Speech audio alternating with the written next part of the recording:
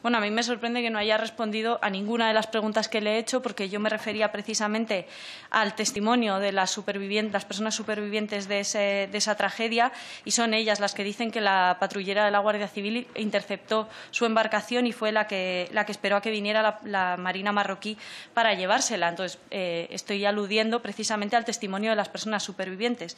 No ponga, como decía, en mi boca cosas que no he dicho. Precisamente, bueno, me sorprende que el Partido Popular se empeñe en hacer control a la oposición. Yo, usted está aquí como responsable de Gobierno, yo le hago preguntas como como oposición y espero que las conteste, que no está previsto que yo responda a preguntas, pero vamos, estaría encantada de estar en su lugar y ser la que responde a las preguntas. Y le pediría que aquí en, sede, en, en la sede de la soberanía popular no, bueno, pues no extendiera un bulo que ya han desmentido numerosos medios de comunicación que tienen rigor en España y, yo le manifiesto y lo reitero que nosotros hemos condenado siempre cualquier tipo de violencia a diferencia de lo que hacen otros grupos, así que lo reitero aquí hoy también.